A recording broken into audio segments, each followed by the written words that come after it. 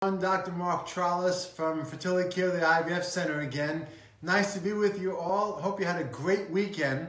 And while thinking about the topic for today, I thought of what I call the unforgotten gamete, or the forgotten gamete, right? The sperm. We can't omit that, and we hadn't talked too much about that. So, male factor, what percentage do you think is it a male contribution to fertility? It's actually 40%. So 40% is male, 40% is female. And the way we can evaluate the male, and this is provided that the male doesn't have any predisposing factors of uh, prior chemotherapy or undescended testes uh, or uh, major medical problems or certain medications that could, be, that, that could affect fertility or a history of infertility, okay? So what are the things that we look at? Well, the sperm analysis is the tried and true method to determine if there's a potential male factor.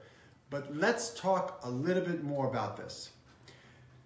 In 2010, the World Health Organization came out with new guidelines to evaluate for sperm analysis. And believe it or not, there are actually clinics that are still using a prior edition we're using the fifth edition World Health Organization from 2010. So the numbers that are most important, the parameters that we want to take a look at that are most important are the density of the sperm, the motility of the sperm, and the morphology, which is the shapes. So a little bit of background. The way they came up with these numbers is that they took fertile men who all had been involved in a pregnancy after, within one year of trying. Okay? So the numbers that you see on the sperm analysis, where, which are the cutoffs, all these men had been able to be successful. And this is the 95th percentile. In other words, 5%, 5% of them uh, were below these cutoffs. And they all still were involved in a pregnancy.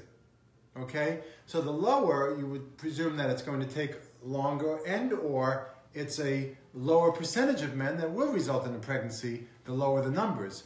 But it's never, never until it's zero sperm. Okay? So, density.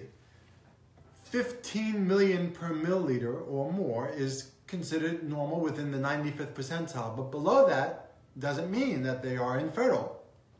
But that could be an area of concern. Motility, how well it's moving.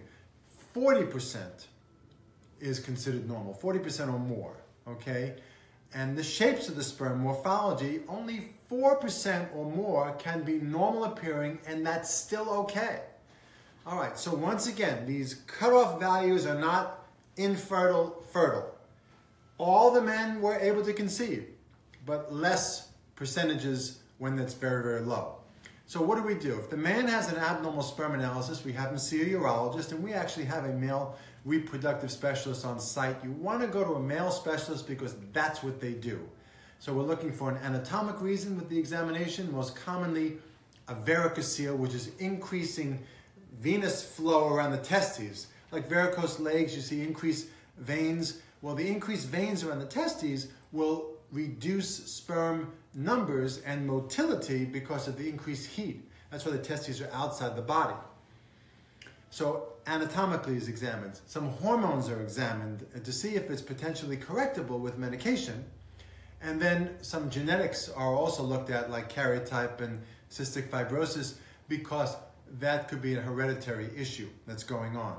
So after the evaluation, Sometimes hormones are necessary like clomiphene citrate or letrozole or even injectable fertility medication. You don't want the man on testosterone, okay?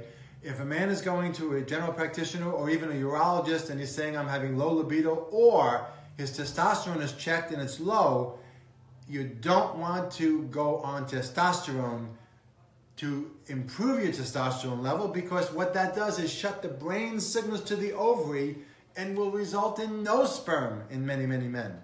And if you're on that for too long, it could actually be irreversible. So the medications are the clomiphene citrates and letrozole. Okay, so barring no sperm or extremely low numbers, artificial insemination or intrauterine insemination, IUI, is the first step after an evaluation by the urologist, and we give fertility medication to the woman to increase the numbers.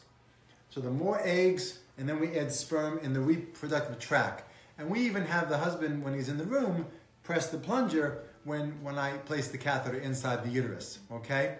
So three cycles of that is certainly reasonable before you start seeing a decrease in pregnancy rates.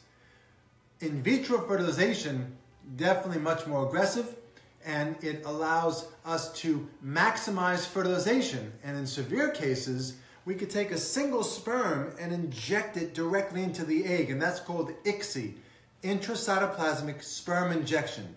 Each sperm is injected into the egg, and that's for men with severe sperm abnormalities. And ICSI outcome for pregnancy rates are the same with and without the usage of that, okay? Now, in men who have no sperm, that's a condition that's either called obstructive or blocked or non-obstructive, non-blocked azoospermia, which would be no sperm in the ejaculate. So we, we go to the testes uh, to get the sperm, but then you need to do IVF when you get it from the testes because the testes has to go through the reproductive tract of the man to reach, the sperm have to go through that to reach maturation. And if, if not, we take it from the testes and then we need IVF and ICSI. One quick little point is that sometimes the sperm actually goes into the bladder. And these are men who've had uh, prostate surgery or any extensive pelvic surgery or even diabetes. Sometimes they'll get retrograde ejaculation. So when no sperm is in the ejaculate, we have them urinate after the ejaculation to see if the sperm are there because it's easier to uh, treat the man with, with artificial insemination that way. And there's methods that we do to do that. Okay? Hope this was valuable. I know it's a lot of information in a short period of time, but please message us. Comments are always welcome. Love to answer your questions. Have a fantastic week, and we'll see you in a week. Take care.